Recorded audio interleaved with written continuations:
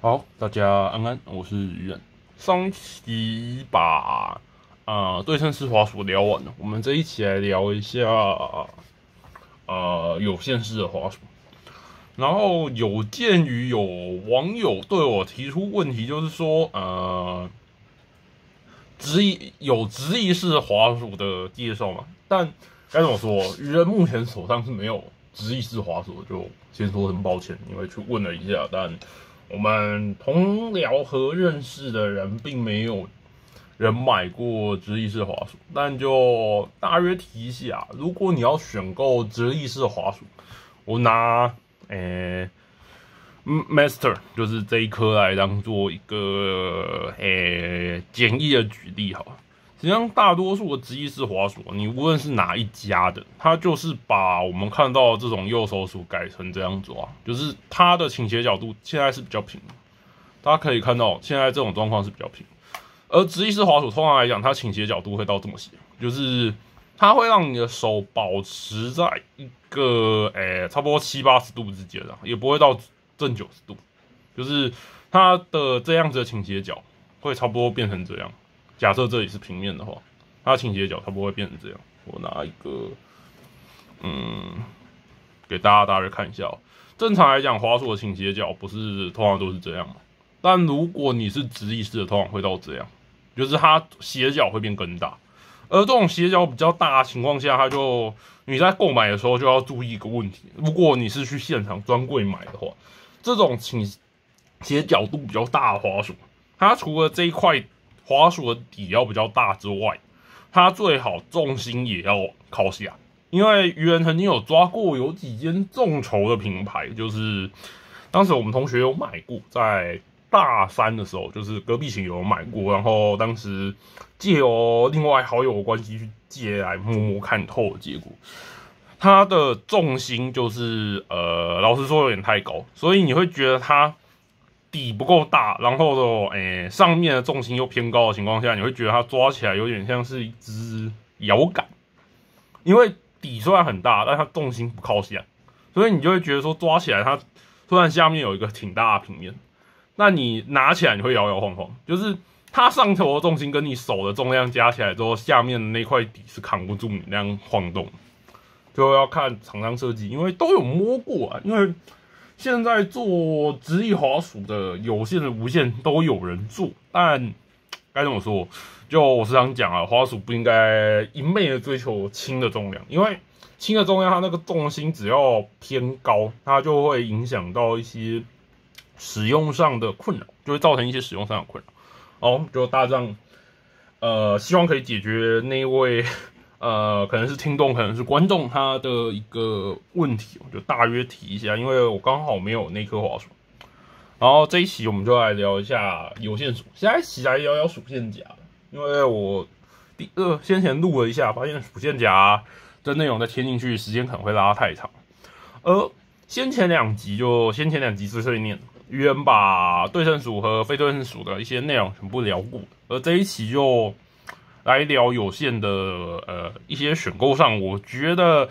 呃大家应该要在意的一个几个点就老实说，目前来讲啊，你如果要挑，我们看到聚集比较多的滑手，大多还是在非对称上。你要在对称上找大量聚集，基本上是很难的。就基本上你可能选购方向有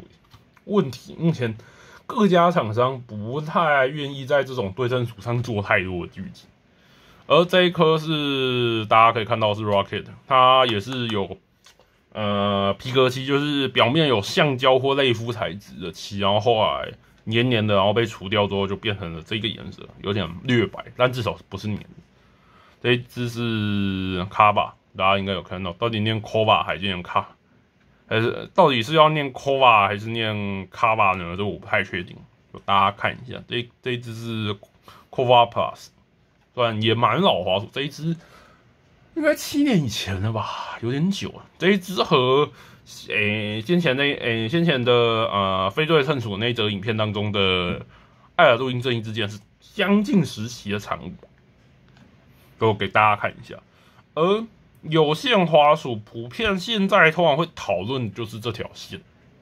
就是这条线。因为各家厂商对于这种线的做法不太一样，主要分为两类，一类就是像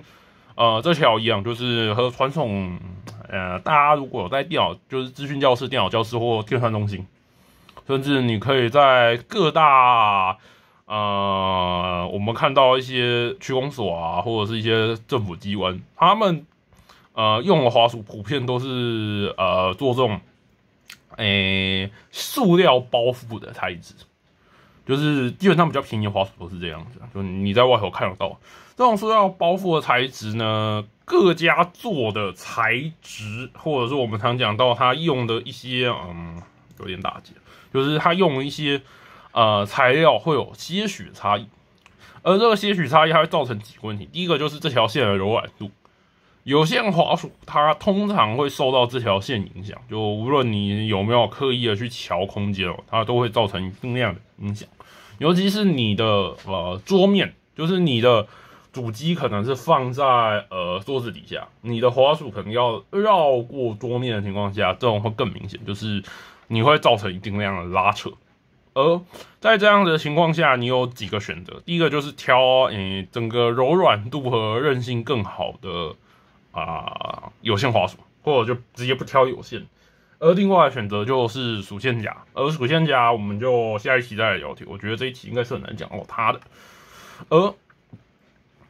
这种塑料绳，或者说我们看到就是呃漆面包覆，有一些是用说漆面包覆啊，有一些人是说呃塑料包覆。这种类型的呃滑鼠线虽然常看到，但老实说各家做出来的耐用度都有差。就是有一些它可以维持一两年，就不会出现像这样，就是你用久了之后，它有些线硬化之后，它会出现一个轻微的歪，有没有？或者是像这样有一个区域是歪的，就是呃，如果它是材料做比较好的，通常来讲，它这种弯曲的点，在你多次拉直之后，它通常都会直回去。只是用久之后，这种啊塑料线也好，或者是呃，有一些说是橡胶包覆，就是这种绝缘材料，它通常都会硬化，而硬化久了就会出现先前，如果你有看过一些修缮滑鼠，他们的 滑鼠的的使用年限可能更大的，甚至你可能以前在学校有摸过，有一些滑鼠它的那个线就会碳化，而那个线只要一碳化，你轻轻一折，它就会有一点裂开，就这种塑料线会出现的几个小问题。那它的好处就是它比我们看到这种编织线，不知道大家看不看得出来？就你如果有在外头用过一些呃西方电源的充电线或者一般的滑鼠充电线，应该都会看到这种呃类似编织材料的线材。我拿一条给大家看一下，刚好桌面上没有放，拿一条出来，就给大家看一下，就类似像这样这种。比较粗啊，当然通常滑鼠会用比较细，就是这种编织线的材质，不知道大家好像有点对不太上焦啊，大家应该有看出来。这种编织线它有几个好处，就是这一这种编织线它通常比较常出现在呃早期的一些高端滑鼠上，就是一些旗舰滑鼠上比较常见，而这种线它通常会比我们看到这种塑料线来的寿命长。就会长很多，而它有没有缺点？有，就是它对于我们看到桌面平整性要求比较大。如果你的桌面是相对不平整，或者是啊桌面上可能有，例如说木屑，就是木头有时候它会，你用久了之后它会起绒，木头也会起绒，而起绒之后对于这种编织材料来讲，就会造成比较负面的影响，就比较没有办法，它就会出现类似像这样，就是。有点被勾到起用，但这次实际上是摩擦出来，看起来手机又对不上焦啊。我们来给大家看一下，有点起用有没有？这种是编织线普遍会出现的状况，就是它只要产生摩擦，或者是我们看到勾到，它就容易起绒。而起绒的点，如果它起得很严重，线就会从那里断。它和我们看到那种塑胶绳脆化之后扯断的状况不太一样，因为现在这种塑料绳。做工比较好的厂商，实际上很难在保固期内你把它线弄断掉，除非拿剪刀去划它，就是锋利物。而如果是锋利物，那我觉得编织线也是一样惨的。就编织线虽然比较耐，但它只要起绒了，它就容易出问题。而有线滑鼠现在目前主流啦，就是刚刚讲到编织线和刚刚讲到塑料线。而如果你在买的时候，还可以关注一个点，就是它的这颗头，这一颗头。如果你有考虑未来要换属线夹，就我们下一期提到的，我会建议你有一些它的这个头有做强化的，就是有做我们看到的，呃，有一些线材它会做那种防折处理，就大家因为我刚好桌面上没有那样子的线材。我找一下，就看看有没有比较合适的给大家看一下。就有一些呃线上他会做这种，就是多突出一块去做一个防折。就如果它的滑鼠上有做这个，你的有线滑鼠比较不会线断在这个头，比较不会。但也不能说完全不会，因为有时候它那个做的确做长了，但它断在更前面。这个我只能说它只能减低，并不能完全解决。而有一些厂商他会选择把线拱起来，就是他会做一个额外的加固处理，把这条线做整个弯曲起来，让你不要这一块直接摩擦到。这个概念我觉得是比较合理的，就是它的这样子用起来结果就是它这一块会比较宽松一点，就是它不会直接和滑鼠垫摩擦。然后如果你又要用属线夹，它我觉得它的寿命应该会比一般的哎呀这种直接直出的滑鼠好。就大家都可以看到，说它实际上现在很多滑鼠，它都会去做一个比较高的高度，让线材不要摩擦。这个概念我觉得是对的。就大约提一下，就有些滑鼠在线材上普遍就这两个呃点会比较常提及。然后最后一个就是呃有些滑鼠时常会提到一个点，就是镀金头。你到底滑鼠要不要镀金头？像我这两颗都是没镀金的，大家可以看到这两颗滑鼠头是没有镀金的，给大家看一下。这两颗都是没有镀金的，而且实际上你可以仔细看，就是它是没有锈的，就是它没有什么锈。这种哎没有镀金的头，它通常来讲，呃比较好的厂牌，它会选择在这个头上镀镍，就是去做我们看到不锈钢处理，就是它会做一个表层的，就镀镍或镀，看各家厂商做法。我的印象大多数是镀镍，就是把整个头变成类似不锈钢的材质。而这种做法，你要看就要看厂家工艺了，因为我有看过那种，就是像有一些做那种 USB 头的，就如果你有用过一些蓝牙头，它号称那个什么镀金的，你可以看到它也是锈。就如果它没镀好，你就算它不常用，它也是锈给你看。这我觉得这东西比较败人品，就有一些厂家它分明镀镍就可以做很好，结果。呃，可能改镀金哦，然后就锈掉了。所以我觉得，就每个厂家可能对于 USB 头的理解是不一样，这我觉得无可厚非。就如果你在日常选购上，呃，遇到你的 USB 头不是镀金的怎么办？我是觉得不用太担心啊，因为我自己使用过的，就包含像 Feel Code，实际上你说它真的会锈吗？会啊，但也不严重。就老实说，就真的也不严重，就给大家看一下。哎呀，这一这一条线是 Feel Code，因为刚好放在我的桌面底下，给大家看一下。这这一块键盘也是七年以上的键盘，它也算是经常用。那你会发现它头实际上是没什么锈的，就是这我觉得是各家厂牌对于 USB 头的一个品质掌握的部分。它只要掌握的好，实际上它趋近于是不会锈的。再给大家看一下。就是它会锈，没有错，它是会锈的，但它锈的程度不会那么夸张。就有一些厂家，他说是镀金头，但你多次拔插，甚至你分明没拔插，但它也是照样秀给你看。这个我觉得就没意思。啊，那我们这一期内容差不多到这，就是呃有线滑鼠啦。我通常会建议，如果你是买来，你就打算说啊，我就长久使用它，可能微动坏你也打算修微动。那我会建议你能买像这种，呃，偏向是我们看到的，呃，编织材料的这种的耐用度会比较高，但条件是也要看你的桌面，因为有时候你桌面转角或者是一些桌面上一些杂物对它造成磨损，它也会磨损的比塑胶绳严重。但呃，正常使用下，就你如果真的就只是一个有点脏但不会很夸张的那种桌面，就是。一般外面可以看到一些办公室环境，实际上这种线它的整体表现会比塑料绳好。真的就是以我过往累积的经验来讲，这种线通常会比塑料绳耐用一些。而塑料绳它当然有好处啊，就我刚刚讲到，就是你如果不太喜欢被有线绑住，但你还是得买有线滑鼠。这种塑料绳的，只要它做工材质不要太差的，基本上第一两年你的桌面布局正常情况下，很难感受到这种有线的存在，就是。呃，塑料绳现在很多厂商已经做到它与滑鼠垫也好，或与桌面也好的摩擦会比较低，这个我觉得就大略提一下。然后 USB 头到底要不要镀金呢？我觉得是不一定要，因为你大家也可以看到，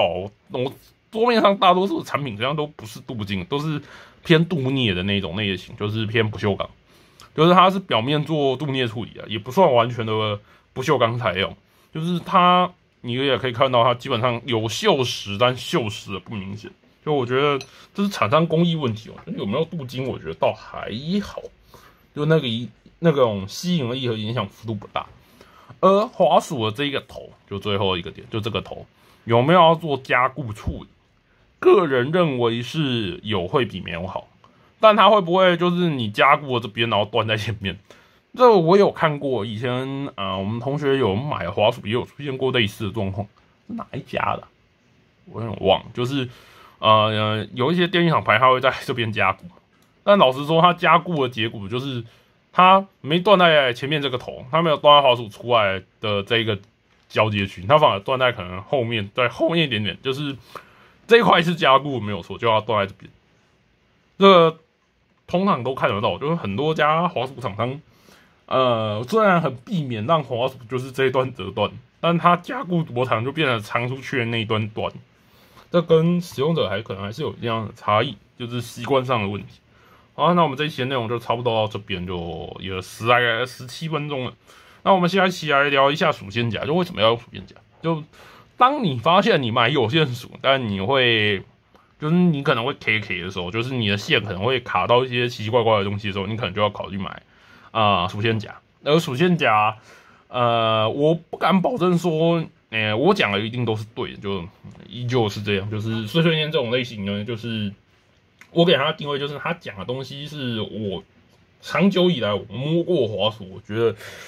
通常会遇到的问题，就我自己通常会遇到的问题，我不敢保证每个人都会遇到，因为每个人家庭的使用环境，或者是我们看到的。呃，摆放习惯会不一样，所以它并不能百分之百保证每个人他都会遇到像愚人一样的状况。但我通常会提出来，然后希望有一些可能跟我条件类似的啊用户，就是尽量去避免它，因为很多场景就该怎么说，有一些实况组它弄出来一些场景，或有一些 UP 主弄出来的场景，我觉得那不是一个。啊，硬要说是不是每个人的桌面都可以那么的干净，或者是那么的整洁，所以我会尽量去提出一些我认为呃可能部分人会遇到的状况，我会尽量的去提供解决啊，就差不多是这样。好啊，那我们这一期的内容就差不多到这边。啊，刚刚讲的比较感性的发言就算了，好，然后就也希望各位就是如果你喜欢这样子的类型，就麻烦点赞，然后评论分享。就是有任何状况，也欢迎在底下留言。虽然有时候你们点菜我不能解决，有点抱歉，因为就预算比较不足，然后刚好近期有时要借东西比较难借，就可能在借的时间点上，或者是能做能不能做这件事情，我会拖的时间会比较长。然后大上差不多应该就是这样吧。然后。最后还是讲一下，如果观众看到可能，例如说我星期一、星期二没有更新，也欢迎你们到 FBI 敲碗，就是来催更。我大致上有看到，如果我那一天是已经录好影片了，我会告诉你我真还算很重。而如果呃我直接跟你讲我会直接开，那就代表我的啊就是 YouTube 的影片定时我忘记定了。就是大家可以跟我讲一声，就是如果你星期一没有看到影片，或者是到星期二晚上啊，这个该死的人怎么还不更新？如果你发现了这个问题啊，欢迎直接就哎呀跟我讲一声，因为我不会主动说什么你要点开小铃铛那些，我觉得没有必要。就就是如果你有在看我的影片，就差不多是这样。就是如果你发现怎么鱼人没更新了，就直接来哎我的 FB 来敲我，或者是在 YouTube 上跟我讲一声。可能就是我可能没有放到呃连接的更新时间。我有时候草稿就上去了，但我很懒，就没有把它整理完，然后把它挂时间。就是有时提醒我一下，我会尽快去做这件事情。好啊，那我们这一期内容就这样吧。那我们下一期再见，啵啵。